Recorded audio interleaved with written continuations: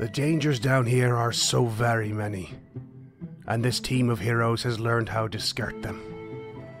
We encountered a dark creature of shadow and rusted chains, but avoided conflict thanks to Gilda's keen eye and wit. We were set upon by a ghastly spectre, but dispatched it thanks to Crocker's clever and learned mind.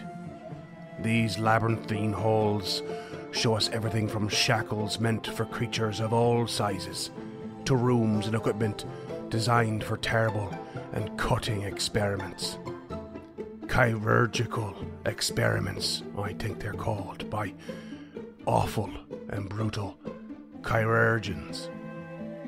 As we pressed forward, we found this place was made with the direct purpose of spying on whoever came through. And through secret doors and halls we wandered, with walls that see one way but not the other. And now, a trap is sprung upon us all.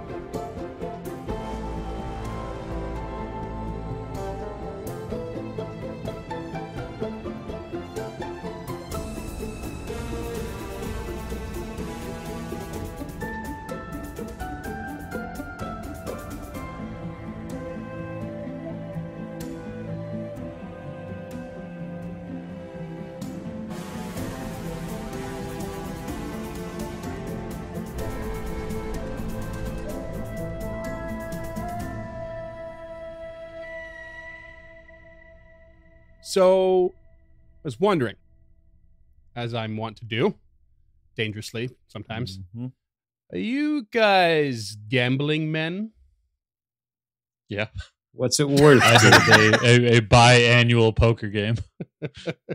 Quite simply, yeah. Yeah. Yeah, so? I, I host a biannual poker game with some of my old chef friends. Hmm. Um, That's cool. It's That's it's fun. not like it's not a, a it's not a big game, but yeah, It's not high stakes. I whenever I say something to you like, do you want to bet on it? Or I'll take those odds. That's not a hyperbole. That's not a metaphor. I'm being completely candid. If He's- I'm willing to bet on he's run the something, numbers quickly I'm- already. I'm- I'm ready to here for it. Yeah. Yeah, I I'll give you a spread when I say shit like two to one odds. Like I'm I'm Yeah. ready for you to put cash down on that.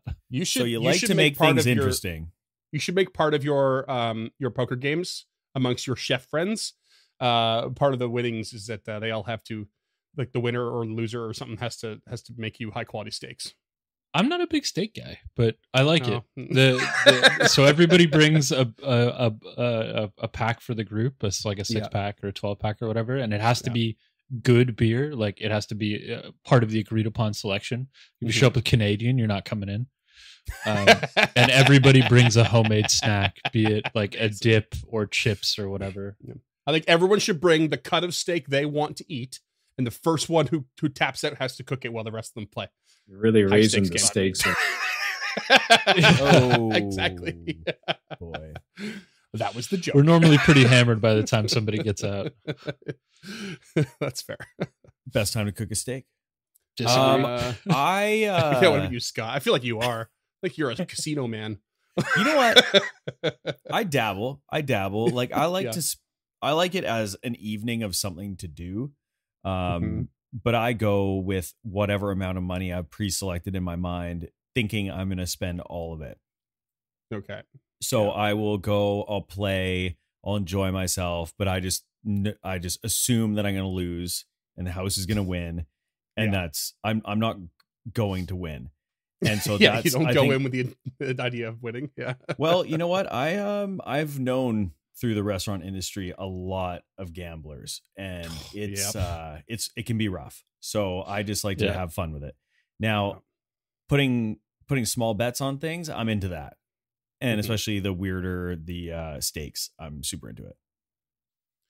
Uh, Duncan and I have a mutual friend named Joel. Oh, I won't God. drop his last name, but he knows who I'm talking about. I was gonna Joel's bring him bartender. up without bringing him up when I. Or yeah. And uh, amazing. I remember a very particular story about Joel where he uh, took a break uh, during his bartending shift, went down uh, two bars down, and and put some money into the machines and won like six or seven hundred dollars. And then uh, came back and paid someone like a hundred bucks to like finish his shift for him, so that he could just drink it and have fun. And then so he, uh, I mean, he didn't drink six hundred dollars, but he took a cab home hammered, and then woke up next morning with none of it. Was wondering where the hell is it? Oh wait, when I went to pay the cab, I took all the big wad of cash in my pocket and put it on my lap, and then paid him and didn't put it back in my pocket. He like vaguely remembered this, so he got out of the cab and all the cash fell. He's like, it's definitely in the front seat of the cab. I'm screwed. So he like gets up, goes to work, all bummed out, goes back home after that shift, and then the next morning, like we're talking 36 hours later or something, he gets up again and he sees a 20 on his front lawn. And then another 20, and then another 20, and it's spread all across his bushes. uh, and he finds like $400 worth. Goes back to work to celebrate, pumps all of it back in the machine, and wins another $1,200. And I was like, this Wow. man will never not gamble now. Best It's- Easter egg hunt of all time. entirely too much luck on his side at the, in the in the in those like 48 hours total. Uh yeah. Oh man, that guy could just drop drop bill after bill on those machines. It's crazy. The like Keno machines. Uh, I don't remember what he played. It was like yeah, it was The like Keno old machines, like Vidlots. VLTs. Yeah, yeah, yeah. Oh yep. Yeah, yeah, Yeah. yep. Big fan of those. I like a keno in a bar. You know what else I really love at Yeah. bars is pull tabs. Pull tabs are classic. Love pull tabs. I love just trying to get like just fill in the whole table full of fucking pull tabs. Uh, I used to go So- to a bar in Victoria and uh, we knew the girl who would fill the pull tab machine and she would let us know which ones hadn't won. And uh, we would just sit in there for a long session and just pump money into that thing. oh And just like God. she'd just come by with her trays and just collect swaths of non-winners. but we went out there with like we won a couple hundred bucks, six hundred bucks, something like that, and like between like twelve of us, and uh, we were just pooling all of our winnings, and we just uh, just went went wild at the bar and just spent it all that night. It was fun. Nice. Is that the biggest win you've ever had? Is like the six hundred bucks on pull tabs? Yeah, but that was like a big group thing. Like there was, Right. you know, a dollar here, five dollars there, and then there was like a two hundred and like a fifty or two, and like it all just added up. Um, my my girlfriend and I won a hundred dollars at a bar while waiting for a ferry, and that was probably the biggest win that I've been a part of. Nice. That's all right. Singular. Yeah, it was great. Duncan, no, gambling man. See, no, I'm I like my vices as more of a sure thing. Um, and also like yeah, working in the bars and you see people just pumping twenty after twenty into a vid lot, and I'll lose twenty bucks and then be pissed off for the rest of the day. So it's just, it's just not for me. That's the most I've ever gambled at once was twenty dollars a vidlot, and I thought, what what was the point in that? I don't understand what we're doing here. Yeah, I've exactly. I bought the occasional two dollar scratch ticket like back in the day, but but gambling is to, is to me like the same thing as sports. I don't get it. There is no thrill. I don't understand why I should care. I can't Why am I ignore the sunk cost fallacy long enough for it to pay off. yeah, I just- right. I So that's don't why I like my home games of of Texas Hold'em is you know you come in with fifty or hundred bucks, and you know that the first buy-in is going to be fifty bucks, and that's Mhm. what you spend, and it's In a normally nice a pretty rebuy. good evening. Yeah. Yeah, it's uh so you, you, you know you, you spend a good evening with fifty bucks, and then the last two players can decide whether they want to play heads up, split the pot, or whatever. Right? Like it's. You, so you are playing for real currency, and all of your chips are broken down into like actual denominations. So when Mm. you put 25 on the table you're putting 25 cents or a buck or Mhm. 5 bucks or whatever so Yeah. there there is something there i mean at least for me Yeah. but i fucking love gambling i'm not great at it but I, I love doing it and i've had some Yeah. i've had some bigger paydays than you guys have so Mhm. that probably doesn't help Mm. I have one other really cool story that's it's not so much gambling as it was a 50-50 draw, uh, which is I guess technically, but but not really quite the same. Um, it's an odds game at the very least. But it It's was gambling, um, are, for that's a charitable donation. yeah. yeah. Uh, basically, uh, I have uh, two friends, Mitch and Kenny. Mitch uh, has a tendency to have a lot of things go uh, right for him when it comes to really mundane things. And Kenny has a lot of really bad luck when it comes to a lot of mundane things. And they make quite the pair. And uh, one day, uh, Kenny uh, couldn't stay at a, uh, a Toronto uh, Blue Jays game. And so Mitch ended up taking his seat and didn't have any cash when the 50 50 came around. So Kenny's little sister was there and said, I'll give you cash for the ticket, but if you win, I get 10%. He won. He won in Kenny's seat $100,000. Woo! and Kristen got $10,000 for lending him five bucks, essentially. Uh, yeah, it was a hell of a thing. That's crazy. That's I could not. Wow. When he called me, he, he called me to tell me, and he was like, "You're not gonna believe it." And what's what's even more ridiculous is that it was in Kenny's seat that I won it. Kenny's the worst luck in the world.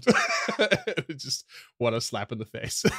that's wild. That's so much money. That's insane. it's so Yeah. much money. Yeah, uh, blew my mind.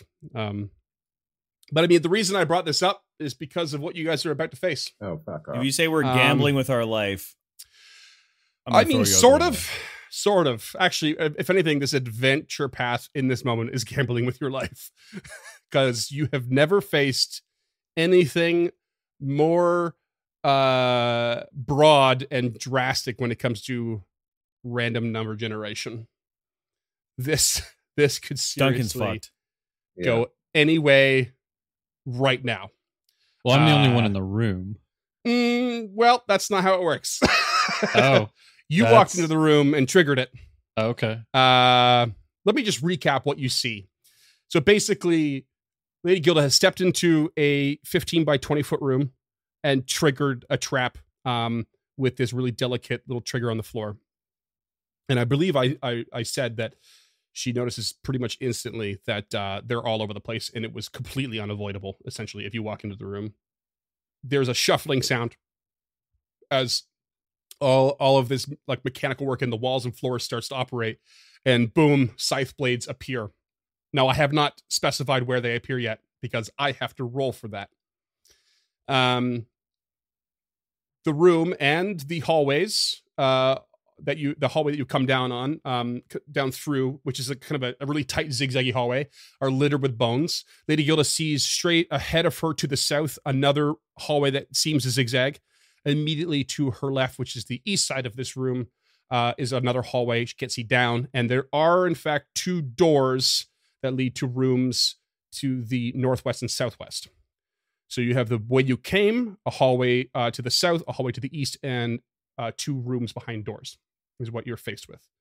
There are bones everywhere. And the shuffling is not just happening in the room, it's happening in the hallway that you that three of you now occupy. So Tulak, Kruka, and Carmen. And in fact, you can uh, hear shuffling happening in the other hallways. Uh, so the one to the east and one to the south. I am now going to roll. This is a reaction to this trap where these blades pop up. And I did a lot of research and even hit hit up Reddit to make sure I had this trap very clear. I'm just just gonna say that right now. Um, We're blaming you either way. oh, I know, but uh, he, he, if you guys aren't nervous, you should be. My heart is fucking pounding right now. I am very nervous. I yeah, am too. it would but be very hard to kill me right now, but I am also very nervous. I just have bad cholesterol. oh, Freeman, he's got a look on his face. I don't know what it is, but he looks worried. He looks slightly happy. I can see a twinkle in his eye. Oh God. I've rolled one of the worst possible outcomes. Oh. I have rolled this, no no joke, probably a hundred times since the last session. Um. Okay. As a Spit reaction, this this trap shuffles its scythe blades, then attacks, and then shuffles again. For every blade in your section, it will attack every person in that section. What is a Oh section? How big is a section? Oh my god. Okay. This is so bad, guys. Uh Section 1 is where Lady Gilda's at in the room. Section 2 is the room or the hallway in which you guys uh, arrived. Section 3 is the hallway to the east. I am shaking. I, my hands are so clammy. And section 4 is the hallway to the south. Four blades are going to travel down section 2. And one blade's going to go to section 3 and one blade to section 4. Lady Gilda is, for the moment, safe. But every one of the other three are going to take four hits from these blades. All three of you are going to take four hits. Holy there- fuck! Um, is there what? Is there a save, reflex, anything like that? These are attack rolls against you. So unless you have appropriate reactions to help you, this is unbelievable. I'm gonna fuck. I'm gonna be I'm gonna be sick. I'm gonna be sick. Uh, okay, you got uh, everyone got their AC ready. Can someone cover Carmen? Yeah, I got it open. Okay, what's happening now is these blades are popping out of these nearly invisible slits in the walls, in the ceiling, in the in the floor, and they are traveling at these crazy speeds and somehow adjusting along these nearly invisible tracks, literally aiming towards you, targeting you. Despite the fact they're slicing from a solid uh, sort of foundation, they are twisting and turning and coming at you uh, because this is a complex magical trap um, and mechanical. So it's like a big amalgam of like try try to kill shit. Um, first attack against Carmen is a 24. That's a me to beat. Takes 12 slashing damage. That same blade travels through, twists and turns, and heads towards Kruka for a 28. That hits. That's 16 slashing damage. Same blade right towards Tulok. I forgot your name for a second. I forgot my name for a second. 39 to hit. Oh, Yeah, that's uh, what you call a crit. 28 Am I able of to use reactions at all? You yeah, you can. We haven't Uh, can- technically started initiative. We will as soon as this finishes, but yeah, you have the opportunity to react. Could I use my retributive strike and grant Tulok some uh, resistance to that? You absolutely can. Thanks, bud. Yeah, thank you. Okay, so it's 28 points of damage reduced to what? Uh, twenty. And is it within range? Can I make a melee strike against it? Yeah, you're right next to Lux, so I'm going to go ahead and say yes, you can. You can make a melee strike against that specific blade. We'll call that yeah. blade one. Okay. She she gonna do that just in case it ha it's it is breakable. That is a twenty-one to hit. That's a miss. Okay. Sorry, that Jesus, reduced these it by are what? Sorry. Eight. Uh, by Two 8, so plus you took melee. 20 damage. Uh, blade number 2. Same order to Carmen, 26 to hit. Yep. That's 12 damage. To Kruka, 30 to hit. yep. 20 damage. Tulok, 26 to hit. Yep. 18 damage. Blade number 3. Oh my god. Carmen, 39 to hit. Uh, yeah, that's a crit. 28 damage. Um, oh shit. Hold on. Something's not calculating right here. Um, Tulok, take an additional 11 from that crit. Because this has the Holy deadly trait. fuck! And uh, Carmen's going to take another 2 as well. From that crit. To Kruka, 27 to hit. Yep. 17 damage. Tulok, 25 to hit. Oh, you're getting lucky here, Tulok. Jesus. I don't think so. Yep. That's uh, 11 damage. Jesus Christ! I have two po- hit points left. And blade number three, or four, sorry. This is the last one. Uh, Carmen, 33 to hit. Uh, yep. Not a crit. Nope. Okay. 10 damage. Kruka, 24 to hit. Meet to beat. 9 damage. And Tulok, 34 to hit. It's a crit. Tulok is dying too. This is fucking bullshit, is what I'm saying right now. Holy Fuck. But as this is happening, like another blade goes through uh, each of the other hallways, but none in the um, main room. And then as soon as all this slashes, slashes, boom, Tulok just hit, hit, hit, hit, trying to do his best to dodge. Lady Gilda like panics, tries to tries to defend, and the blades drop him, and everything starts to shuffle again. And now we're gonna roll for initiative. Holy shit! Father. Holy fuck. God. This is not good. So Tulok just took three blades and just is like basically eviscerated and falls to the floor, blood spraying fucking everywhere. Gouts of it. Yep. And is dying fucking too. And honestly, you might not feel like it. you are so lucky right now. Uh, it could have been so much worse. Uh, remove one of those dyings. There we go. I mean, that's Um, just a dick thing to say. Without a roll, I just got put down. Yep, I know. And it, you you could have died without having a chance to react. It would have been by the rules. I'm not joking. Um, okay, rolling initiative. Lady Gilda, what do you got? 30. Tulak. Um, what do I roll with when I'm fucking dying? Uh, that is a very, very good question. Um, actually, let me come back to you, Kruka. Uh, Occult? 26. Uh, 26. James is funny, but Okay. pissed. I got a plan Uh, to get you out of here, bud. What's Carmen got? 21. Okay. Uh, Tulak's initiative is going to be um, One higher than the size, I guess. one higher than the size, Yeah, is what it's going to be. Instead of rolling. Uh, however, that's because that was a reaction from this trap before initiative roll. That's not really not as as in your favor as it normally would be. But we are going to start the encounter with Lady Gilda, and Tulak will be right behind her. That's your little peek behind the screen there. Uh, okay, Lady Gilda. So here's what I want to do, Frame. Mhm. I want to, ideally, with one action, hoist Tulok over my shoulder, fireman style. Yep. Can I do that? Uh, uh yes. It, I mean, it's dead weight, so it's going to be an athletics check. But yep. That's what's. Do you have a DC in front of you? Because I don't. I just want to make sure I actually Uh, have to roll this.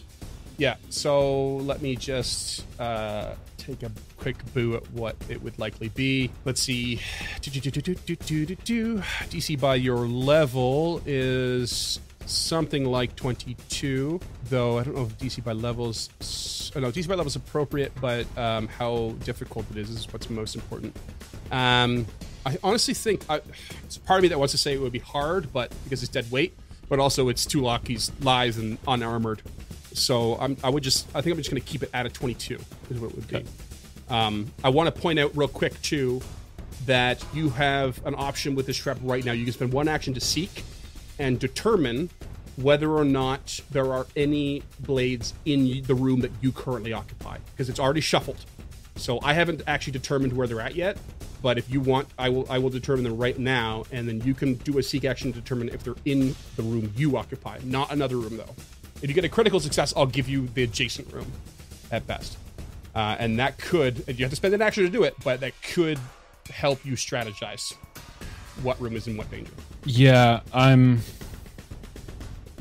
I don't normally do this, but I think I'm. I think I have to. I'm. I'm going to put it out to you guys and get your advice on it. So my initial idea is that she lifts Tulok, moves over to the door, opens the door, free action drops Tulok into the room, and that's all three actions, and it gets him theoretically at least out of the four danger zones that we're aware of currently. Provided the door is Um, open. Well, No, their it'd be one third action action would open be. The third action would be to interact to open. I mean, unlocked. Yeah, Oh, provided the door's unlocked. Uh, I mean, sounds Um, great but if to it's me. she might just boot it open. yeah. Yeah.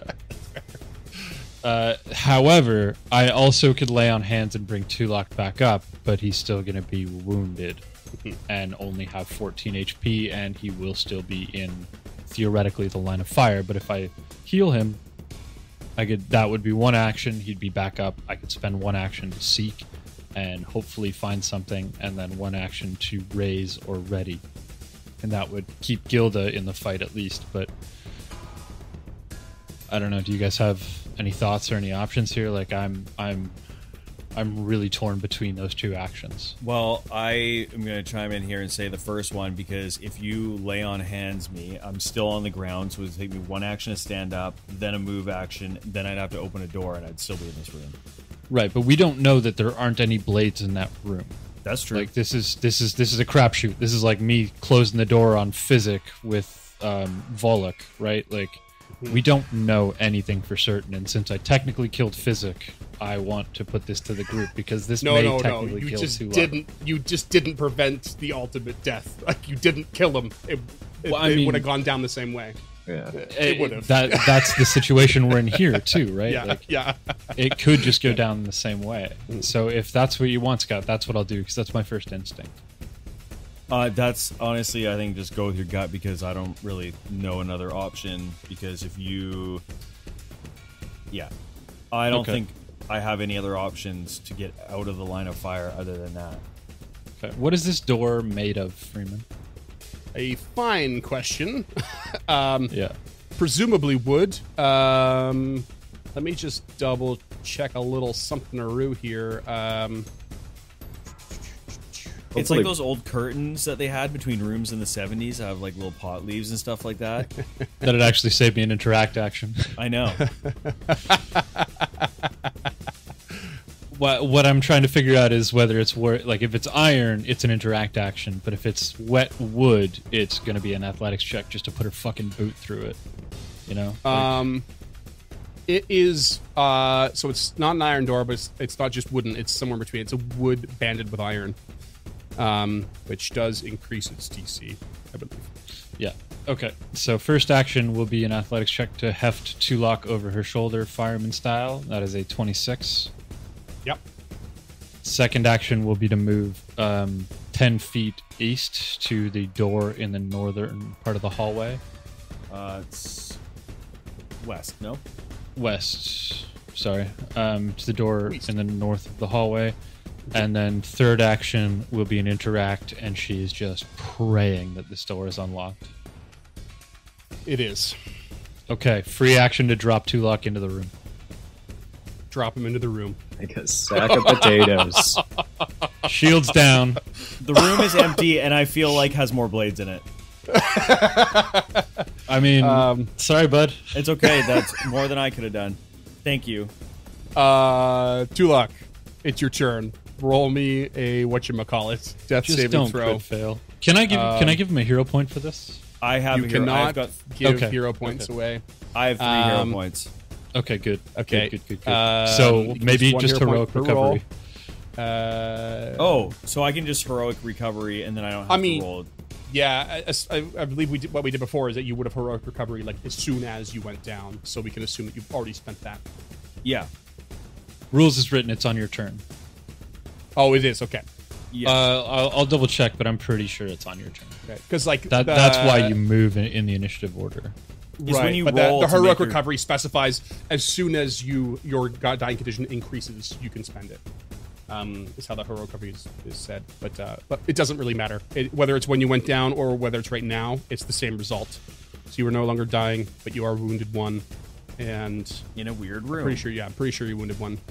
Um, and You uh, lose you are- all your hero points when your dying value would increase at the start of your turn, or when your dying value would increase. So Yeah, so that's actually a good question. Do you want do you want to spend them all on a heroic recovery, or do you want to spend one on a death saving roll? keep in mind with heroic your recovery, you're not you don't get the wounded condition. Oh, Mm. Okay, but, you but I might three to do need more of them on the way out. It. what a conundrum! Be funny. oh god, this situation is bonkers. So if I Look, can we go over death saving throws because I probably should have looked this up beforehand. But like, if I just yeah, death saving throw is basically I think it's uh, eleven plus your dying condition, and it's a flat is check. the DC. So Is your DC. your flat check is 13. If you crit fail, you lose two. If you crit success, you sorry. If you crit fail, you gain two. So you would be dead. That's what happened to Small. That's what happened to um, another character in an unreleased adventure path. Yeah. If you crit success, you n- are no longer dying. You know what? I'm not a gambling man. I'm just going to use a heroic recovery. Oh, Thank you. So you're stabilized Oh. at zero HP with no hero points. Done. No hero points. Barf. Stabilized. Barf yeah, is right. Well, and no wounded condition. yeah. Um, yep. However, Okay. if he gets hit with four blades, we're fucked all over again. Uh, so that's Tulok's turn. um, Sorry, Krugga. next- you just hear next up- call. next up is the shuffling side plates. uh, and um, sadly, we're gonna have three more attack that same fucking hallway. Oh, What God. about Um, what about area one? Am I am I okay? Uh, you're gonna have one come at you.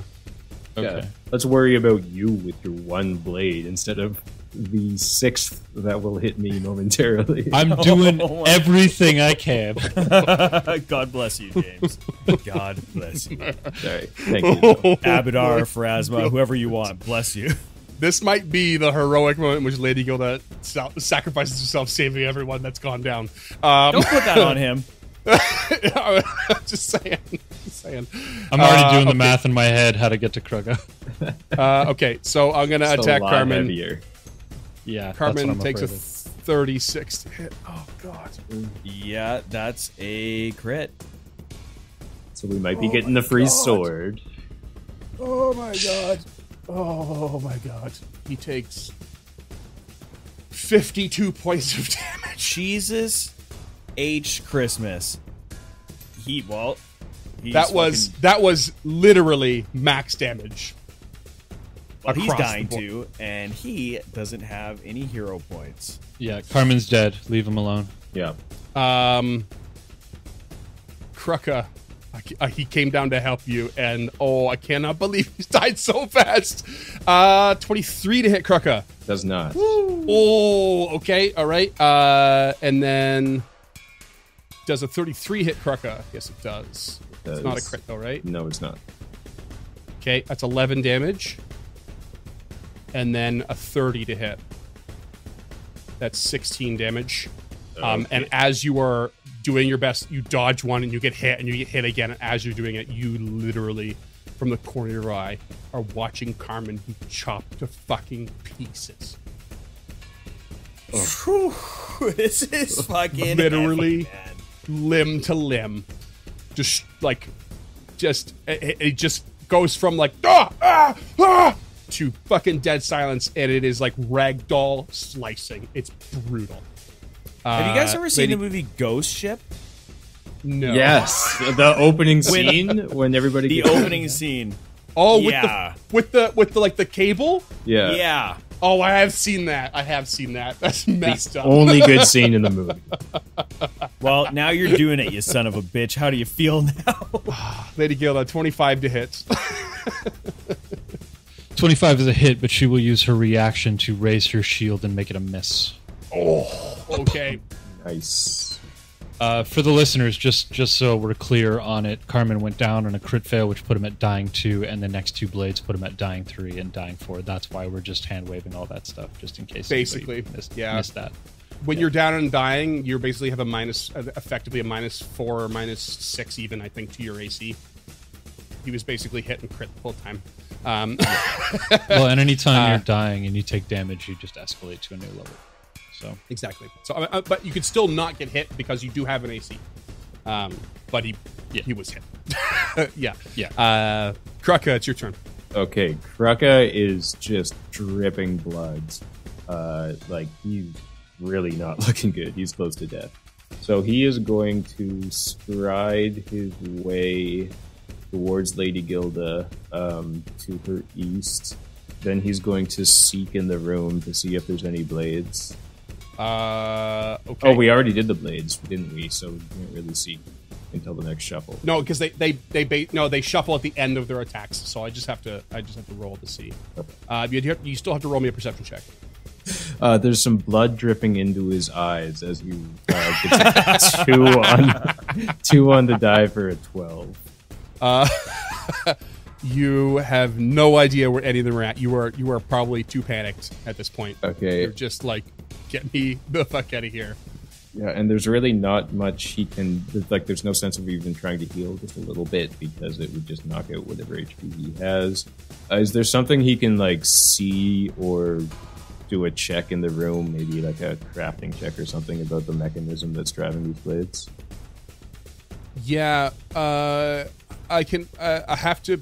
Uh, I will. What's your What's your thievery? What What kind of proficiency do you have in your thievery? He's Is un- untrained or- with untrained with a plus two. untrained.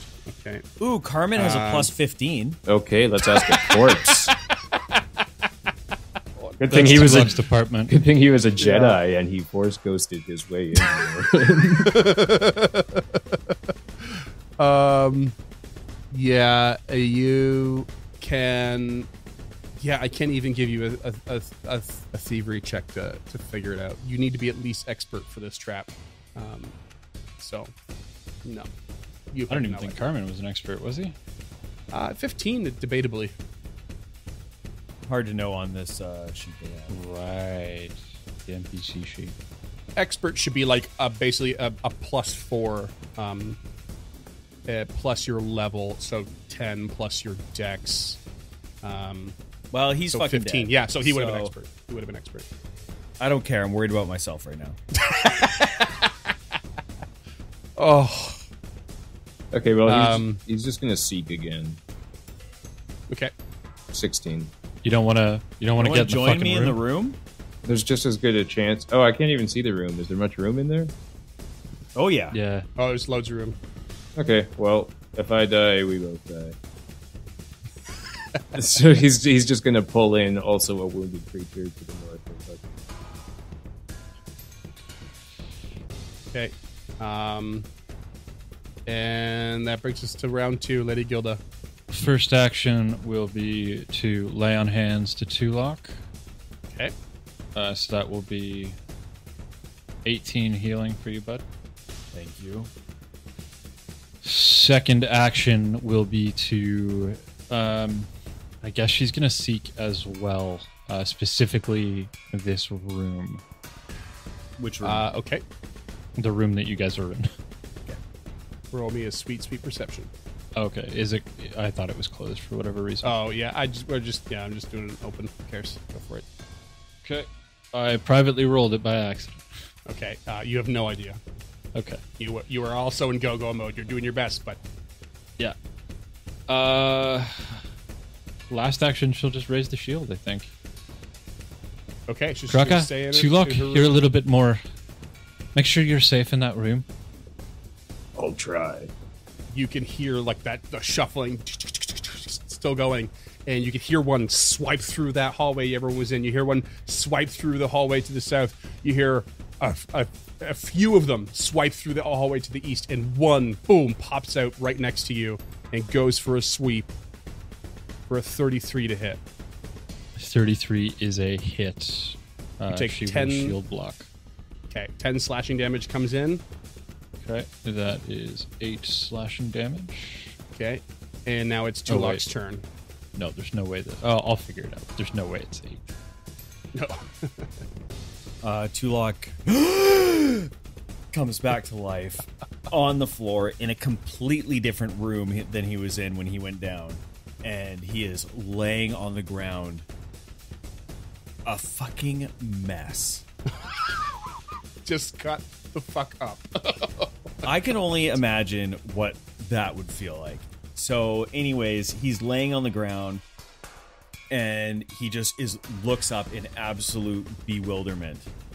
And he is going to pop to his feet and he says, What what's going on? And then he sees Gilda. I mean, it's a little out of order, but like he sees Gilda just fucking trying to trying to act, take the blade, and is just looking in that room. And he would like to look and see if he can figure out what the fuck is going on with this trap. Okay. Uh, you so you want to you want to seek uh roll to see what's in the room first, or No, you wanna roll he wants to thievery? do a check to figure out if he can use his mind to determine what the fuck is going on. Okay. Um. Yeah, that's uh, it's gonna be a thievery. It's a 26. Um. Yeah, you you can see that it's it what what it will take is a pretty staunchy thievery check um, per blade to properly deactivate this trap. Um, yeah. So there are Um, six blades total. So Tulok coughs up some blood and he says, There's six blades, and we have to we have to take care of all of them. Or they'll just keep coming and coming and coming. And so does he think that there's blades within that room from that check? The room Uh, no, you think you're safe in that room. Gilda, if you need respite, step in here. There's no blades. It's just out there. You can always grab her by the collar and pull her in. if you want. I mean, I don't know if she'll resist, but So can I use a thievery check from within this room to try to interact with them outside, or no? You're basically going to have to determine when the blades shuffle, determine where the blades are, go to that spot, and then try and disable check. It's a huge risk. Tulok is going to use his final two actions to cast haste on Lady Gilda. To close the door on Hey Lady Gilda. Uh, Thanks, haste you're on your own. actually works. haste actually works pretty well for me, believe it or not. okay. Haste. So he just moves his hand in steadily faster and faster and faster motions, and then the purple magic touches Lady Gilda as he weakly makes these actions as blood spurts out from various parts of his body. I think I did this in the wrong order because I, I attacked just I attacked you, Lady Gilda, right after your turn, right? Yeah. So Yeah. It should have been after Trulok's turn, but same result, uh, which makes it Karka's turn.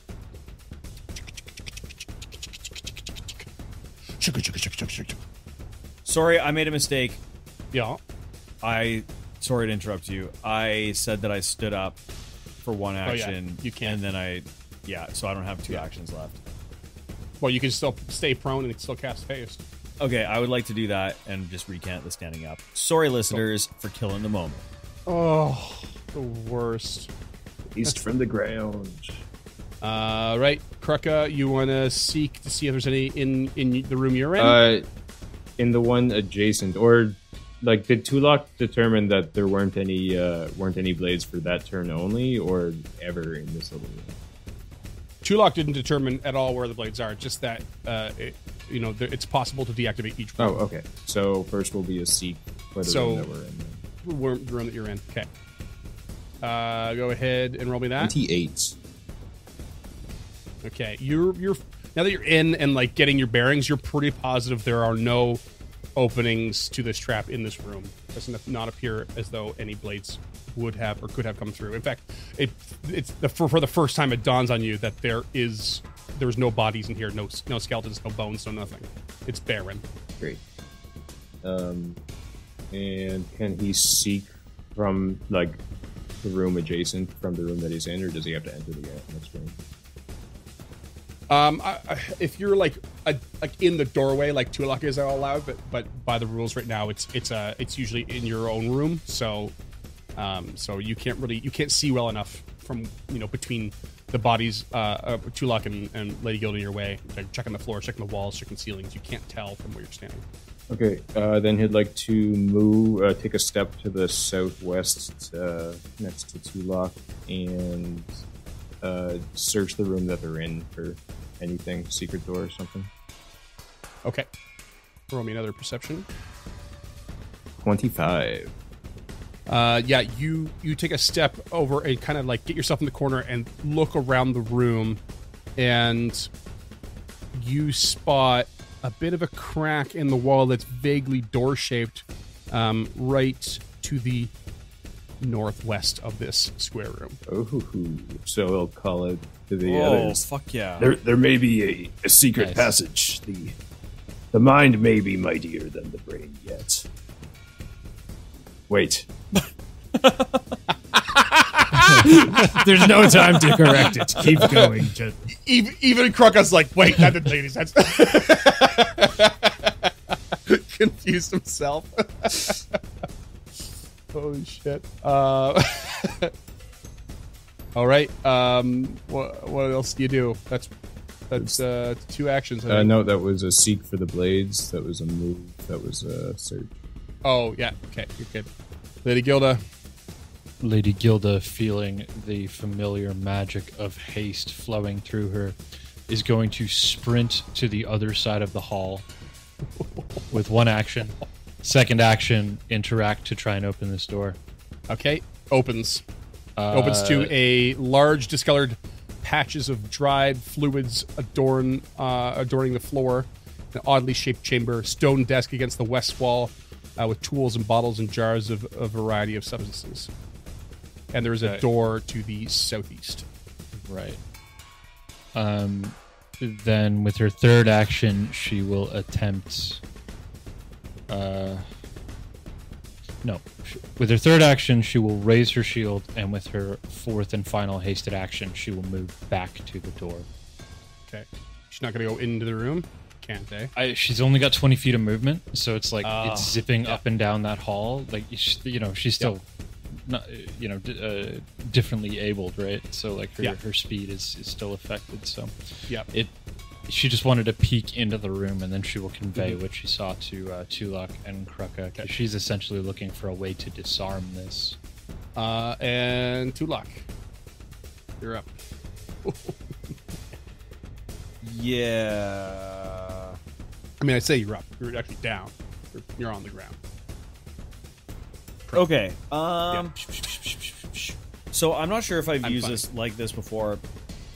I was gonna use the healer's gloves on myself, but I did a quick search, and a lot of people are saying that you can't use it on yourself because you have to use it on an adjacent creature, which people say rules by written can't be yourself. Oh, really? Uh, you, you soothe the wounds of a willing, living, adjacent creature. Huh. That's odd. That's very oddly specific. Yeah. So that's just what people are saying. Freeman, I think it's dumb. me. That's like saying Lady Gilda can't lay on hands herself Love that for me. just because of a, a an extra word. Like that's that seems really stupid to me. and like not and the, even if it was true, why? Like there's no balancing to that. It's a once per day. Fuck it. So It's so grimaces as he touches himself in his chest and just all the wounds across his body, and Just like every himself. other person who's touched you. Grimace. You son of a bitch. Heals himself for 18 points, and Uh, okay. he stands up. You guys ever seen the taser glove? Because that's what I'm picturing. I have not. No.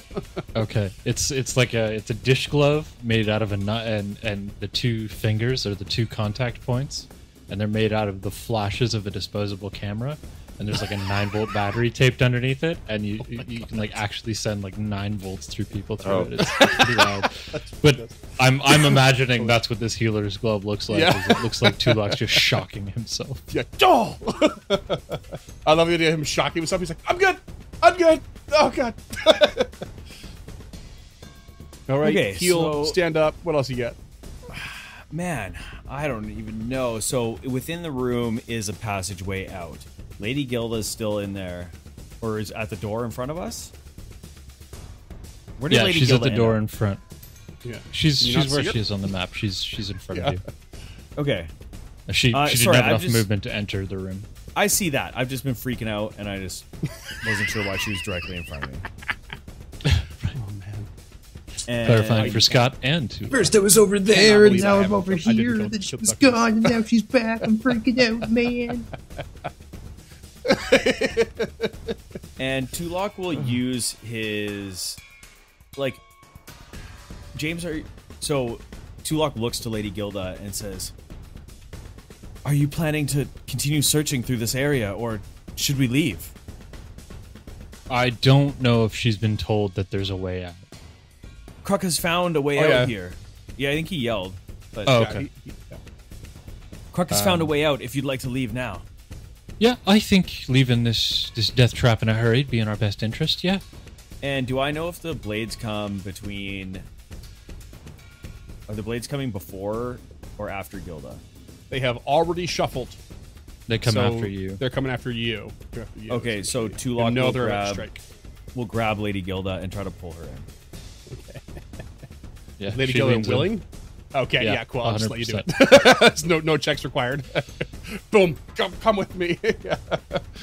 um And as he All right. does that, he pulls her in and has his hands across the like tabard on her chest and just puts his head to her chest and just kind of starts to weep a little bit and says, "Thank you, thank you so much. I, I know you must have pulled me in here," and just is breaking down a little bit. We've lost one, Tulok. We've lost two, and now we've lost three. I wasn't going to lose a fourth today. I guess we should leave Carmen for now. But we we should try to come back here when when we know we can take this on. We can't just let him die and never come back with the way he's left Otari. The citizens there will think that he's forever lost. He should come back a hero. Well, like you've told me about your friend Samal, perhaps sooner rather than later we'll be able to bring him back as a hero, but we can't do anything with these traps going. As soon as we can find a way to turn them off, I agree wholeheartedly. We enact his remains and bring him straight to Vandy. But until then, no thank you. I've seen what that room can do. uh can, can we assume that you you shut the door behind you when you went in or do you leave it open or does it does She it was pulled in, so she couldn't shut the door. Ah, well, if you want a flavor grab it as you're being pulled in I'm, I'm happy with that Oh. but if, if you want the door closed is kind of what i'm asking because as you're having this conversation it's just like shuffle shuffle shuffle slice slice slice slice slice slice like it's very cacophonous essentially Yeah. Um so I could go get Carmen right now. Uh or on my next turn. carmen is literally in pieces Oh, okay. So many So trips. you can get yeah. a couple you you want to you want to grab the old bag of holding and start collecting your marbles How many limbs can you put in per It interaction? would take your two move actions to get there, so we're talking two full rounds to come back with a bag of I can't tell you how many times in my head I went around that same description, but for Tulok's body. I was like, he's sliced into pieces, and I was getting ready for for uh, Scott's ire. Oh, buddy, I was Oh, man. I was feeling all sorts of feelings, and none of them were I good. can't- But unless we're talking about James, because god damn it, I love that guy. I got you, fam. I got you. I cannot believe I didn't kill you. Oh man, Oof, I need a smoke. like I rolled low, so most of them were just hits instead of crits. Yeah, let's Oh. take a few minutes in here if you guys are cool. Um and just do a little bit of housekeeping. Uh how are you on HP there, Tulok? Um, surprisingly enough, I'm a little over half. Uh, 36 of 62. Okay, Krugga, where are you at? Oh, bad. Uh, got Okay. five HP left.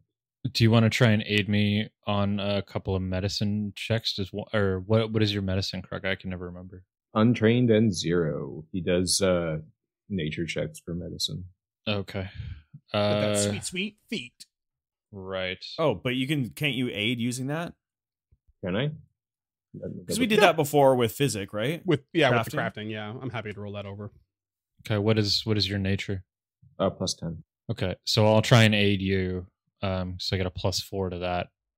And Okay. We'll do Tulok, and then we'll do you. Let's see, roll DC fifteen. Yeah. Uh, so I got a 19. So I ate, I think I ate at this level, or is it 20 now, Freeman? Um. Oh yeah, no, it's it's 15. Okay. So she aids with a 19 on Tulok. Okay, uh, twenty-two. So that passes. Thirteen HP back. Okay, and that takes 10 minutes. So I will lay on hands Tulok and give you another 18 on top of that, and then we'll do the same thing for Krugga. Whew, and just Uh, like that, it's like nothing ever happened. Like we were I never critically there. failed on my aid, Krugga, so you're you're on your own here. Thanks Son for trying. bitch. That's all right. You get a 22 anyways.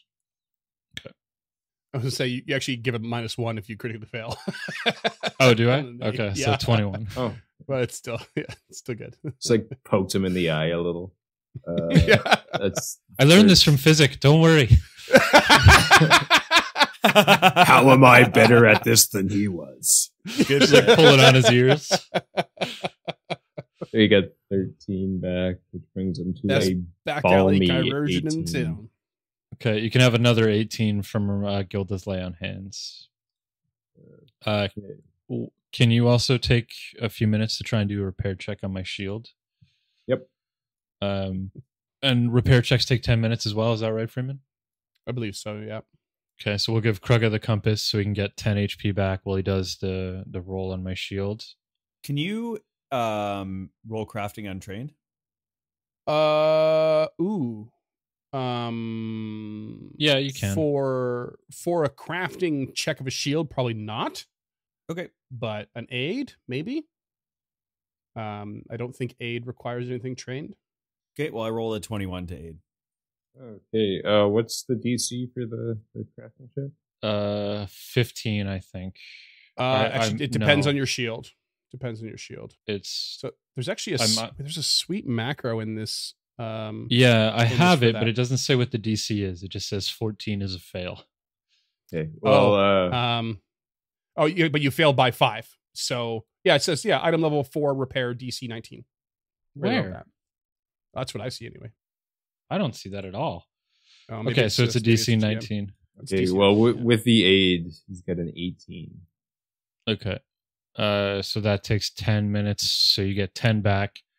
And then Gilda will will give you another 18 with her lay on hands. So That's 28 back. How how are you looking now, Krugga? Uh, 64 out of 94. Holy shit, dude. Um, unless we want to keep waiting, I'm I'm out of ideas. I mean, you could just sit here and lay on hands and take time and chat if you guys want. Like, Yeah, let's yeah, just if we t- if we take take another another, take another t- okay, 20 minutes between the compass and the lay on hands will get you back to full. Do you want to Yep. attempt two more crafting checks on the shield and then we can we can move this episode along? yeah. Yep, definitely. At some point during all this, you hear the, the all the blades go silent as well. Oh, excellent. Like pretty pretty early on, probably about ten minutes in, kind of thing, as you're doing your healing checks and stuff. This will put us up to an hour having being spent in the room, give or take. I'm happy with that. Uh, first check is a 22. Okay, that's a success. Um, Uh, and you're trained. Yep. Okay. I, f- I totally forget how repairs work. I- It's just a flat thing. I don't think you actually roll for it, um, but it won't be enough. So if you want to, Okay, second's a 28. okay. Uh, success is five points plus five per per per per, per proficiency rank. So those two will put it up to sixty-two, which is close enough. Okay, we are looking bright eyed, bushy tailed. Yeah. Let's sneak out the back door like a bunch of cowards. Yeah. Gilda will take the compass back, um, and in that time, she will like explain what she kind of saw in the room across the hallway. Yeah, let me Um, just quickly explain something too, uh, because it was all pretty frantic. I kind of missed this last episode. When you were walking down the hallway, you were actually walking along. All you probably noticed in your view, you can actually see within rooms um, along that hallway, despite the fact that there's solid walls, and because those solid walls have a transparency effect on them. So I totally missed that. You were walking through and you saw like a room with a like a desiccated bed in it, um, and a trunk and a door, and then you saw another room that actually had like this like complete black like you're not sure what it is across the entire floor just like this black substance that covered it from corner to corner. And then another room that was same as the first. When you got into the room uh, to the main room that triggered the the sides you could see another one with a with a bed and a trunk and a door. Um you could see through these walls. And then at one point lady Gilda, you actually did run down to the south there. You saw that room you explained that room but you had the opportunity to see down uh, the east hallway and it led to what appears to be a dead end and now in this room as well, uh, with the assumption that as you guys are healing and crafting, Tulok is having a look around. Can we assume that Tulok? Absolutely.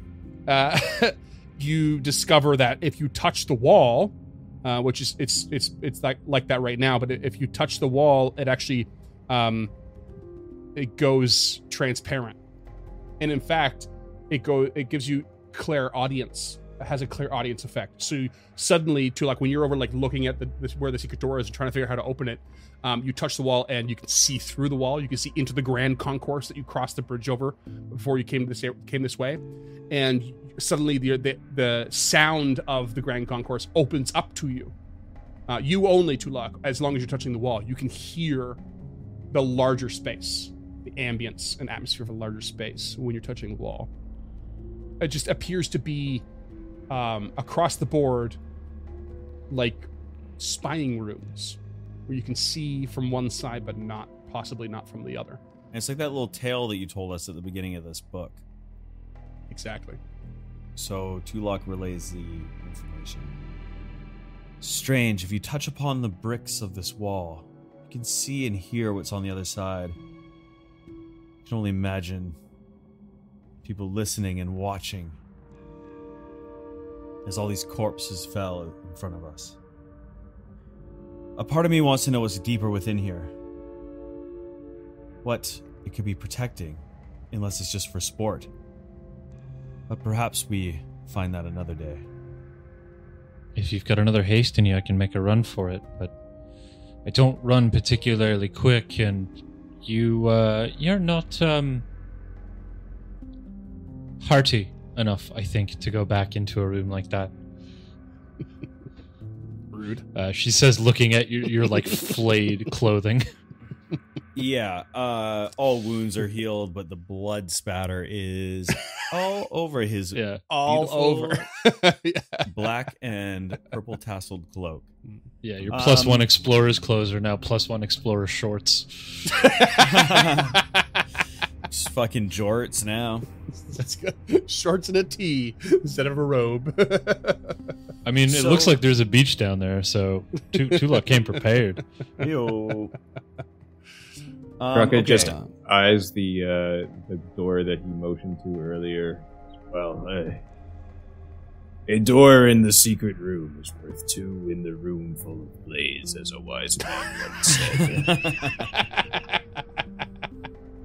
I guess the thing I was thinking as well is just like we can look for the for whatever sets off the trap and potentially avoid it. Oh, that's But- another thing I should I should point out now. Um, anyone who traveled through that room uh, realizes that like every step they took was a was a trigger plate. Like every single step. okay. tiny Fuck that. spots. Let's get the hell out like of you can't you cannot pass that pass through that room without activating it unless you're fucking floating. like it's not a thing. I We can't gotta do go- that yet. We gotta go asking Yasmira for some other thief that's expendable. Or we Got can try and hunt down a potion you? of gaseous form. Yep, that's uh, true. yeah. There is We have options. We have a spellcaster. Barely. Yeah, that's true. Barely. um, okay, well, let's get the Nearly hell out of here. yeah, just because Kruk is good at spelling, I wouldn't call him. Uh, Oh boy, I feel like he knows the words, but he doesn't know how to spell them. Okay, now the listeners are probably like, "Get fucking on with it." So yeah, seriously. Tulok turns to them and says, "Another time, let's explore further, somewhere hopefully slightly less dangerous." And he presses upon the wall to make sure there's no creatures moving outside. yeah yeah. you don't you see uh, uh, you know whatever it is you saw before which is not much um also i want to i want to i'm just gonna gloss over this but i think it's kind of fun like the whole time they're healing and crafting you just you're discovering what you know the the clairvoyance and the clairaudience of this wall and you know the secret door there but you try to like probably try to push it or figure out how to open it at first but you can't. So you're like touching it all over the place and at some point you just start like banging on it and you're like what why you know knock like why isn't it opening? Why can't i get it open? And then you realize that every time you you bang on it in a certain certain sequence it seems to have like a mechanism that like shifts inside and you have to like slowly discover the sequence of knocks to like crack it open uh Turns out it's just a Benny Hill theme song. yeah exactly uh and then when you do it it just slides open and it's the it's the Grand Concourse. Which reminder to everyone wasn't long ago, but essentially a, it's a very long, stately hallway from north to south. Frescoes that depict powerful creatures in battle. Pinpoints of light glimmer in the vaulted ceiling.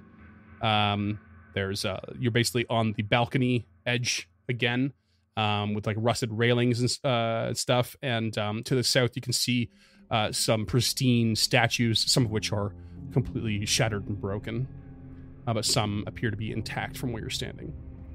And you're about 20 feet up from the Grand Concourse floor, uh, from the balcony side here. So, Tulok turns to his companions and says, I'm interested to know what's in those rooms on the other side of that looking wall. Perhaps we move back in the same direction we were in, towards that. I think it was a kit. Was it a kitchen area that we went through the? Yeah, it was sort of like a kitchen area. Yeah, there was like cupboards and serving dishes and stuff. Yeah. Is was there That's a door up there that I'm not remembering? That's where you found like the display case that led to the secret door, and it had the words carved in "They are watching you." If you- remember, Oh. Oh yeah, but there's a door And going went east the from hallway? there, right? uh, there. Yes, there is. Yeah. Okay. all right. Uh, Gilda takes the defend action. Tulok avoids notice, Krugga is scouting. and they retrace their steps northeast through this zigzagged hall. hmm And Tulok will detect magic at the door. A little more wary now than last time we were in this room. Uh, yeah. Um, does not detect anything. Listens, Hears nothing. nods Lady Gilda, and steps back from the door. She takes her place in front, missing Carmen, and tries the door. How could you miss him? He's everywhere. Too soon. you son of a bitch, Dunk! You Oh did it again. That is so brutal. oh, I I did not think Carmen would join you, and it was so perfect. And I cannot. I also cannot believe he he died that quickly. That was oh, that was bonkers. Um, all right, Lady Gilda cracks the door, uh, and uh, basically there's a hallway, uh, 15 feet feet ahead. There is a door to the north, and um, a room to the east um, stretching uh, approximately 30 feet from the door to the to the far wall. Um, and in the room is a mound of white fungus uh, blossom, white fungus blossom, from which uh, from what was once padded furniture in the small in a small like waiting room kind of thing. Um, but there's yeah, there's basically like just like fungal furniture sitting there, and that's it. Uh, Tulok would like to do a recall knowledge on this fungus. you speak of. Okay, it'll be a, a nature check. Uh, Ooh. Would like to aid if he's going to do that. Uh, I am. Tulok turns and says, Krugga, in your time in the forest, have you seen this fungus before? Well, I'm not gonna make a fungi joke because I'm quite austere. but yes, Sweet Uh, anti joke. a natural 20. Uh, Oh. you you basically walk up and see them and grab Lady Gilda by the collar and yank her back right away. Um, these uh this fungus will will the spores that it releases will um cause the disease fungal rot. Um, it's a fast acting disease caused by these tiny spores that take root under the skin and blossom within the lungs and blood and bloodstream. However, limited exposure to the room, you're perfectly fine. If you just simply walk through and pass it, you'll be fine. If you linger, you're in trouble. So yeah, he grabs Which, which is always fun says exactly because you don't know what's hidden in the room. is it worth it? Probably not. Yeah. But does So- it have any sort of weaknesses, or you know, like some some fungus and in the mold and shit? Sure. like, yeah. reactive? Yeah. Because you've encountered that mold before. Um, in this case, like, yeah, you could destroy the fungus itself, but what's the, the danger is is less about the fungus and more about the spores that are like floating, lingering in the air already. There's not much you can do about that. Is there like a Unless a cumulative shot effect? Like, is there? You say if you're passing through, it's okay, but like if you pass through and then go take some deep breaths outside, um, or like hold your Yeah. breath as you come in and search. You basically want to hold your breath as you walk through. Yeah. Okay. Um, but but like if you hold your breath and stand in the room, you're still at risk. Try not to breathe. These, these spores are dangerous. Now, in that room, there is a hallway that leads to the south as well. So you have this, uh, uh, and um, uh, I would say Lady Gilda got a peek around the corner at least, and there was a, a door short way down that hallway. So you have a door uh, in the initial hallway that leads to the north, and then through this room, a door to the south. Hot dang. Tulok becomes worried at the fact that they've been sitting in this room only for a few moments, but with Krugga's reaction, and he quickly opens the door to the north. And it's a 15 foot stretch of a hallway, 10 foot stretch, sorry, uh, to another door to the north. And as he passes in, I was so As he- excited about 15 foot hallway. It was so outside the norm. you see James As just Tulok- shake his head every time. He's like, Another goddamn hallway. as Tulok passes in, he would like to look upon the hallway and see if there's any sort of traps, as he is now a little more wary. He's feeling a little bit delicate. Uh, you do not detect or see anything. And he Yeah. steps into the hall. The I'm middle. starting to think our backup characters should be wizard fighter or wizard cleric rogue. Well, mine's none of those. Mine either. Tulok was sitting in the middle of the hall, so hopefully someone would pass him, and no one does. He steps all the way in to the next door. Oh, sorry, I didn't realize that's what you were waiting for. Uh, It's Gilda okay. would have Gilda would move past if you want. It's okay. It's already happened. and Tulok will listen at up this justice. door uh, and here's nothing. and opens it. Opens. Opens to a room uh, with a weapon rack, a stand in the northeast uh, and southeast corners. The uh, southeast rack is empty, but the northeast rack holds a hatchet made of dark crystal. Oh, two alcoves between the racks on the eastern wall. Each have an open hatch and a ladder that leads down. oh. Uh, additional exits are uh, to the um, west and north. There are doors. Tulok will avoid notice and step into the room. Okay. And if Steps nothing in. happens, he continues towards the north and to that rack. Nothing happens. Heads And towards he the would like- rack. Gilda and, and Krugga, what are you doing? Gilda's still defending and just stays in the center of the room, trying to keep an eye on everything. Uh, Krugga would like to go in and search the walls for secrets. Searching the walls for secrets. Okay. Speak, Uh, friend, and pass.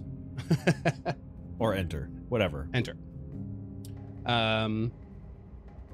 All right, so you're searching around. You don't see much. Lady Gilda is just standing in the center, keeping wary. And Tulok, you are. Kind of rolling her eyes at Krugga, just walking around touching a bunch of shit after they almost died in the hallway. I'm being but ready, but ready to uh, back him up nonetheless. And he also got us out. Anyways, uh, Tulok will look at this hatchet. Okay. Uh, you pick it up? Yep. No, you don't. Oh, it's cursed. you reach out and grab this crystalline hatchet and put your hand around it and immediately are unable to pull it up and not only that you're unable to pull your hand away because you have become stuck to it and as you try to yank yourself away in confusion the rack forms a mouth full of jagged teeth Oh, shit. and we're gonna roll for initiative. Mimic! Mimic. Finally, Man, I've after all these years of playing uh D&D and Pathfinder, I've never actually seen a mimic in a game that I've played. oh, really? I have run so many, but I've never fought one. My fa- Um, my absolute favorite piece of the stat block on this creature is the reaction it just used. Um, because you touched it, and it basically you automatically become stuck to the mimic's adhesive like nature. and the, the, the ability is called Object Lesson. it's so That's a it's that's so a real perfect. good double entendre. Yeah. it's so good. Yeah. um, Freeman, this reminds me, I actually have a present for you, and it's mimic related. Uh, but I'm not going to say any more than that, and you can let listeners know what it is when you get it. okay. All right. I'll give you my address. I don't want to see you in person. Um, It's just a black and white striped shirt. It's just a punch coming out of a fucking. Yeah, that's chest. literally what I was thinking. Yeah. you see this? See that? See my hand, Freeman? Yeah. Not just a hand. Bam. uh, okay. We are going to hop on in. Uh, let's get some initiative. Krugga, what'd you get? Well, Searching around the seeing uh, a weapon which he admires so much turn into a mimic, uh, he will be terrified and have a 17. Uh, okay, Lady Gilda, what did you roll? Gilda only got a 14. She was too busy rolling her fucking eyes. And Tulok.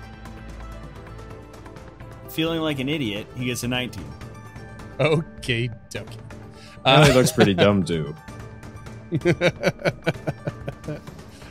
uh, we are going to start with Tulok. So am I grappled? So you What's- are you are uh, basically ad- adhered to this mimic, um, and you can roll a uh, athletics check to try and rent yourself free. Um, yeah, that's basically it. Well, it's a escape DC, so hold on. Um, oh, sorry. yeah, no, it's Athletics, it's a, it's a general. So yeah, yeah. Sorry, I was re- re- misreading something. Uh, yeah, it is uh, athletics, acrobatics, or unarmed strike, whichever one you prefer. Uh, none. Tulok, eyes, his eye fades away, and he raises his hands, and with all of his actions, a zombie brute comes bursting from underneath the floorboards. Large creature to the area to the west of the mimic. Um, let's see here, zombie brute. Um, I thought you were just going to unload a bunch of magic missiles into its mouth. that's what I thought too. Nope, I want to smash this thing to bits. Oh, this is a, this is a large creature. I forgot. Yeah, that's Uh, right. You can't you can't get it in that space. There's not enough space. You can't To the you can't west. get it. Oh, to the west. Did I sorry. say east? My apologies. No, you said west. I just screwed it up as I always do. Um, all right, from beneath Is- the tiles bursts. Is that how big a large massive creature is? zombie. Goddamn right. yep. Wow. Don't let the don't let the tiles below your characters fool you because those are like quarter size, right? Right, Yeah, right, it's right. I think that's the the perspective is really messing with me. But Yeah. yeah, okay. But it's good though because I always forget how large a creature a large creature is. Like they are really big. Like it's really Yeah. hard to get your head around when There's a special scares. feat to do combat maneuvers against them. Yeah. Think about giants who can can be somewhere around 16 feet tall. That's the height of a telephone pole uh, above ground. Like it's they're very big. Large creatures are very big. Uh, okay, All right, and Zombie with its one turn, the zombie brute just brings this fucking huge fist down in a Okay. hammer smash. Attack. 23 to hit Uh, that is a hit. for 17 points of bludgeoning damage. That's 17 max bludgeoning. damage. And have the creature please roll me a reflex save. Not good. 15. Oh, it's sticky. Uh, 15 is a fail. Uh, it is now stuck to the mimic. Uh, so the brute and Tulok are both grabbed. That's Um, a-okay. Okay. Next up is the uh, the door to the north. Um, also forms a mouth and launches a pseudopod attack at the zombie brute. That's fun. I love that. and uh, it's gonna be a 33 to hit. Oh, Jesus Christ, that is a big crit because its AC is only 15. It's a big, it's a big creature. That's gonna be 32 points of damage. Okay. Um, and it's gonna just continue that assault. Uh, natural 20 with a 29 for another 24 points of damage, and then a 14 to hit. Uh, Okay, hit miss. Okay, and uh, roll me a courtesy reflex save real quick. 14. Okay, it's effectively now grabbed by both of them. Although that the doesn't old really double grab, eh? The old double grab. it's now stuck to the pseudopods and, and bodies of both of these mimics. Uh, the other mimic is now going to uh, go ahead and start striking Tulok while he is held. Uh, 19 to hit, flat footed. Oh, 11. flat footed. Apologies. Oh, no, miss. okay. um, I'm sorry, I didn't And realize that it was already applied. I, okay. So it's just like attack, attack, attack. You're like just dodging out of the way. Uh, the third one, though, was 23. uh, that is a hit. Okay. So you're going to take seven bludgeoning. And finally, we're up to Krugga. Oh, well, uh, loving that. Krugga is going to free action change the grip on his butchering axe, draw his returning light hammer, stride to the northeast to uh, put the mimic into uh, line of sight and throw the hammer at the mimic to the north of Tula. Nice. Okay. What do you got? 18 to hit, 4 on the die. Oh, it's a miss. Um, bounces off the wall next to the mimic, but it's returning, so it zips back to your hand. Well, leaves no Thor, but it was an effort. Lady Gilda, what do you got? Not in a great position here, Lady Gilda. At least not for the two enemies. Well, it's also a mimic, so she, having seen this thing just goop onto this giant zombie and Tulok, probably doesn't want to get in there and mix it up. Mm-mm. Um, so first action is actually going to be a seek to look around the room and make sure the other doors and the weapons rack aren't more mimics because this Okay. this got this got out of hand real fast. Well, first of all, uh, we don't know if you know what this is. This is like. Oh yeah. You, I, I'm going to require a, recall knowledge check first for you to be able uh, to understand. Like, it's understandable you want to check the other stuff, but like you don't know what to look for. Right. Okay, that's fine. Um, what's going to be uh? occult, occultism. Oh, bitch tits. okay. Uh, that was supposed to be secret, but it's an 18. Okay, that's fine. Um, yeah, you you don't know. You're unsure of what this is. You've never never heard or seen anything like it. Um, and you are right to not trust anything in the room. But there's not much in the room, other than another weapon rack and another door. Wow, and these two trapdoors, Those are hatches and they're open, they're still there. And they're they got ladders in them, I guess. But yeah, Um, doesn't really have a whole lot for this. Uh, Help me. help you how? Uh, she will take a step I love this. with her second action, and with her third action, she's going to ready an aid to um, uh, help Tulok escape. Okay, good call. Good call. Also, when you said bitch tits, all I could think about is his name is Robert Paulson. yeah, Good. That's all I ever want. that's it. That's all we need. Everybody needs a little more meatloaf in their life. Tulok, it's your turn. All right, and Tulok will attempt to break free with his plus zero to athletics Well, you or or acrobatics or or unarmed strike. acrobatics. Okay, perfect. And also, I have the slippery uh, slick rune. Or we- Yeah, you do. Yup. Yeah. And So believe you're using a- acrobatics. acrobatics. That's a plus uno. Okay, so what am I rolling to aid Freeman acrobatics as well? Uh, you can roll. Uh, I think this is pretty freewheeling. You can roll your athletics if you want. You bet I want to. Yeah. Uh, that like is the a idea. 29 to aid. Wee.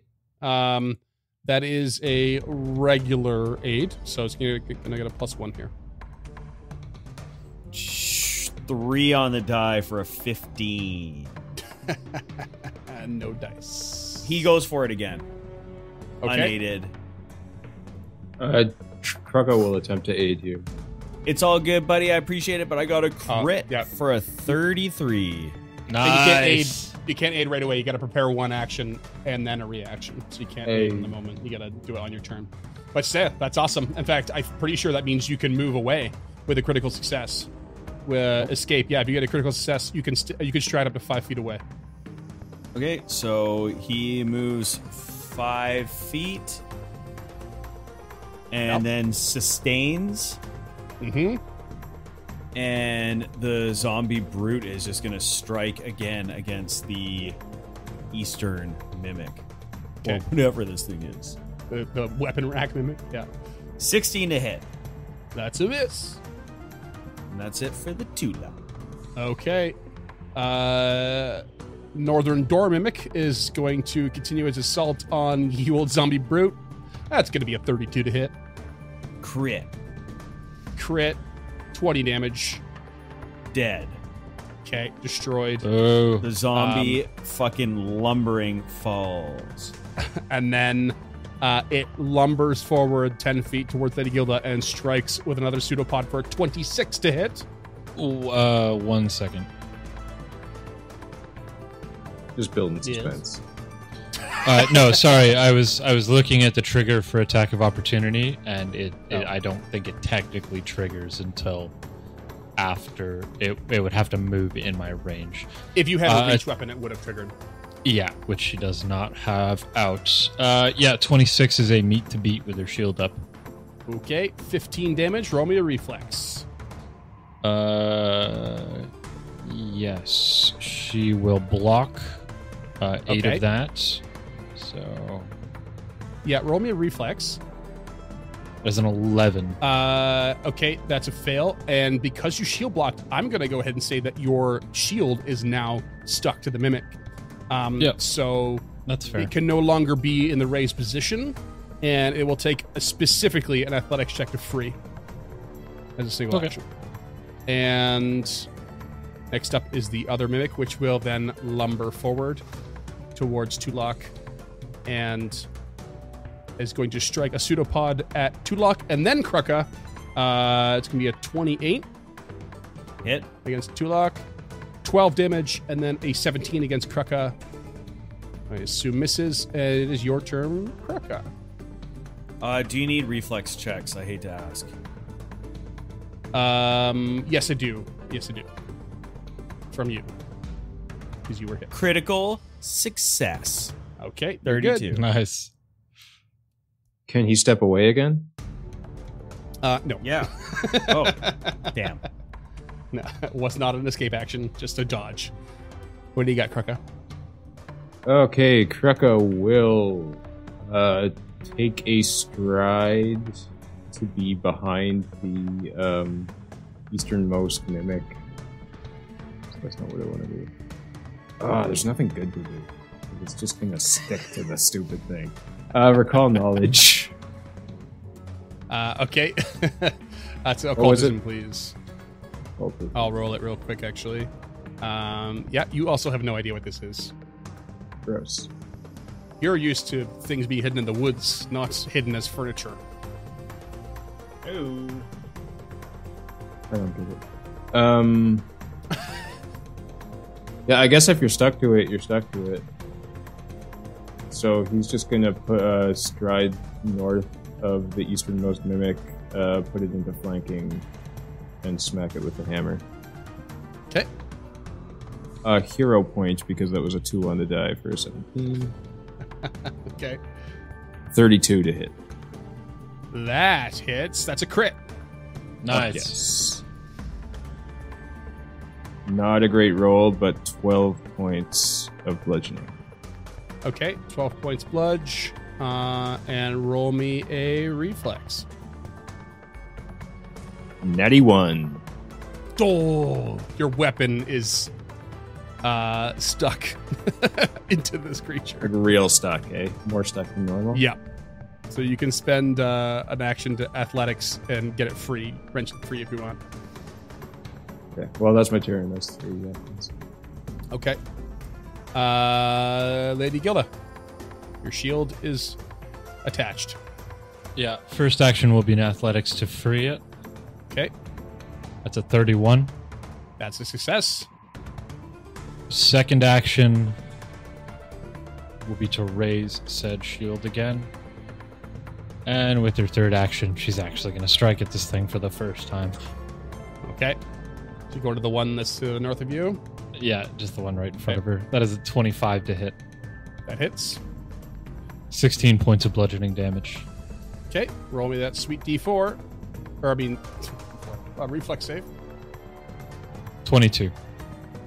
Uh, you are stuck, I'm afraid. Really? Wow. Okay. Yep. Uh, so you are grabbed. Uh, what else you got? Oh, that's all three. Okay, Pull, raise, punch. Pull, raise punch.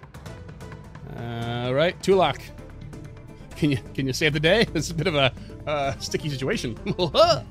Okay, Tulok will um, step or stride south and west, kind Mhm. of back towards the door they initially came in, and will cast a new spell Duh. called Rouse Skeletons.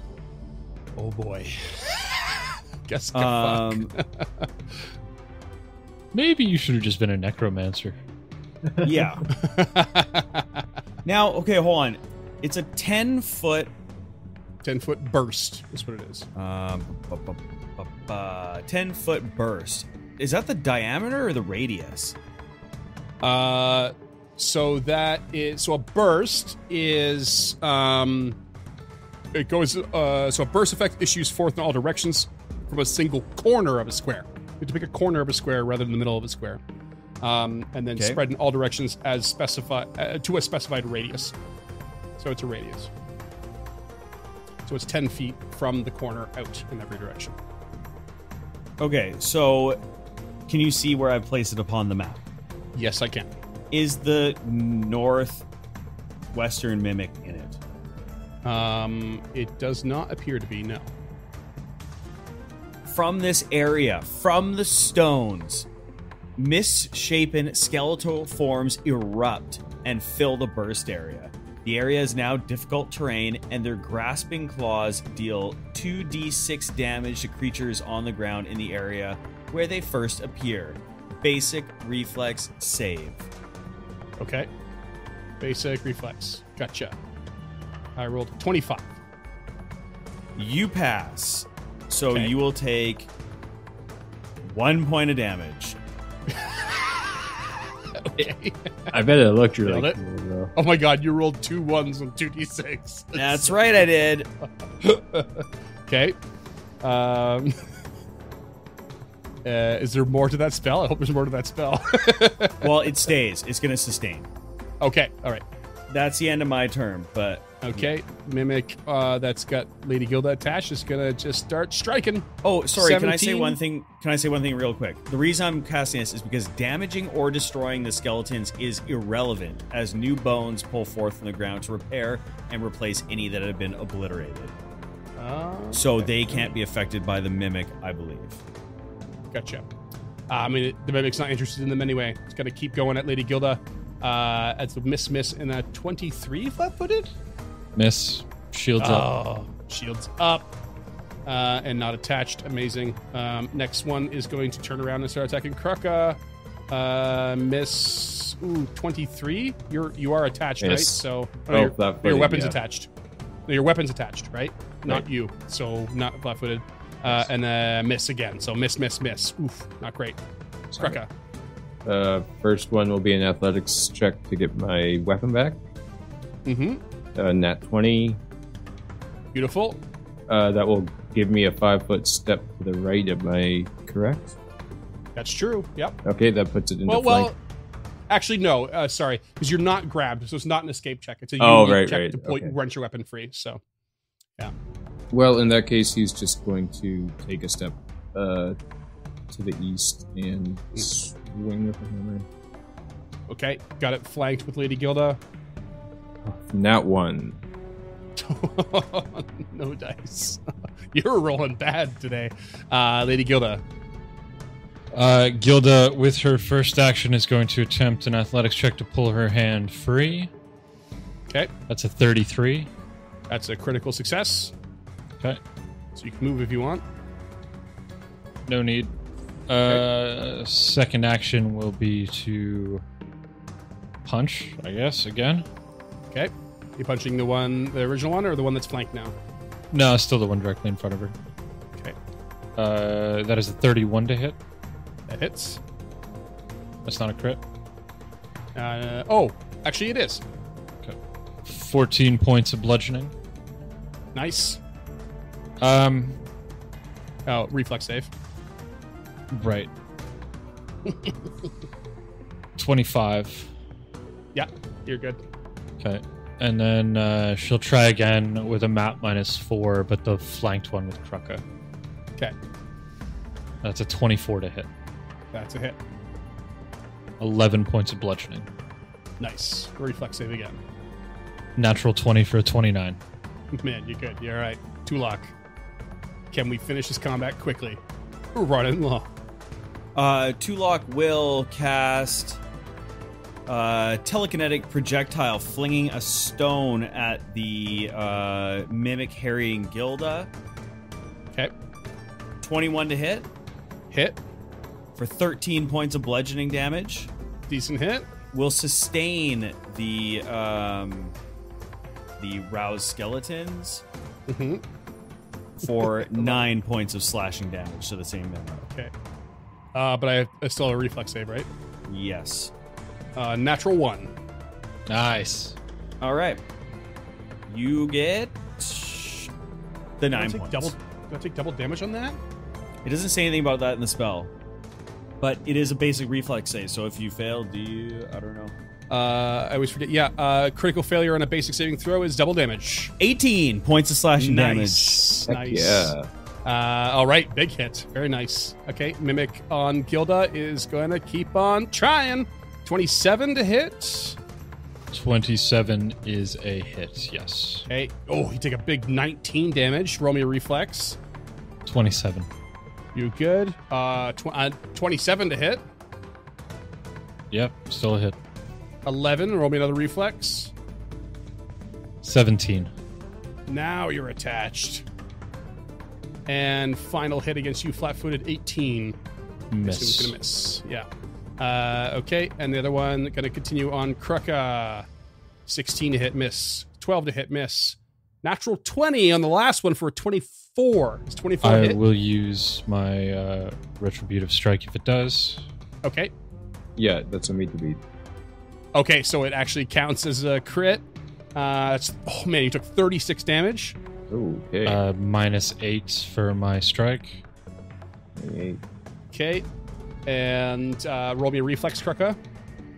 29. You're good. Lady Gilda, you're you're punching. 20 to hit. That's a meet to beat. Roll me a damage. 12 points of bludgeoning. Okay, and a reflex. 26. Okay, you good. So you managed to like kick that one essentially.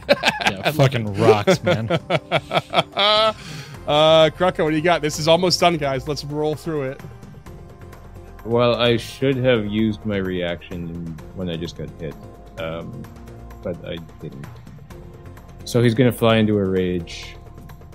Uh, yeah, uh, that sounds like a great idea. Rage it up, Because now he's do that more often. mad. because that's Well, I keep wanting, I keep wanting, I keep wanting to remember the reaction, uh, and then Oh, yeah? then I get hit because I'm just so affronted by the fact that. He hit me. Uh, stri- strike with the hammer for a nat 20. Oh, yep. Hey, Nice. baby, one more time. for uh, sixteen damage. Nice, big hit. Roll me a reflex. That's uh, it's four fire, uh, twelve physical. Okay. Uh, in this case, no, but Okay, uh, seventeen on the reflex. oh, you're stuck. You're grabbed. Okay, Your weapon or your weapon is Athletics to get rid of it. okay. another nat twenty. Nice. Okay, one more swing. You're just gonna like wrench it free and swing again. Oh no, you raged. You raged. I raged. Uh, okay, Lady Gilda, can you finish this with your rocks? I'm gonna certainly try. It is a 16 to wrench yourself free. No dice. Okay. Uh, instead, she's just gonna move on to a single punch to the one directly in front of her. That's Okay. a 22 to hit. That's a hit. 11 points of bludgeoning. Okay, big hit. Uh, and then the one flanking at a map minus four. That is a 23 to hit. That's a hit. Nine points of bludgeoning. And it is dead. Finally! Christ. Tulok. All right, Tulok will sustain, so I will need a reflex save. Reflex save. 18. That is AM. failure, so you take eight points of slashing damage. And it's dead. Nice. Booyah, Skelly boys. that AoE spell is awesome. That was that was a weird combat. I loved it because so much like, oh god, what do I do? What do I do? But you've destroyed your first uh mimics. Maybe there'll be more. Maybe there won't. But you can see that uh, there was no weapon. There was Yeah. no weapon rack. In fact, the door that was there, you could see laying on the ground, cracked and broken, and it was hidden behind the mimic itself. That It son of- also kind of looks like a face. yeah. Uh, and I mean, of course, that's for now where we're gonna call it.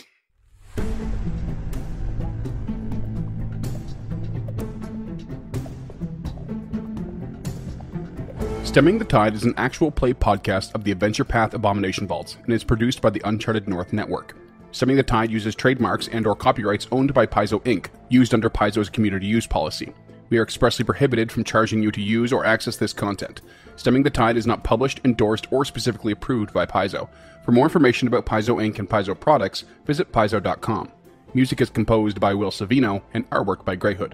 Stemming the Tide is recorded remotely using Foundry Virtual Tabletop. If you wish to connect with us or support this project and projects to come, we can be found at unchartednorth.ca, patreon.com slash unchartednorth, and on all major social media platforms.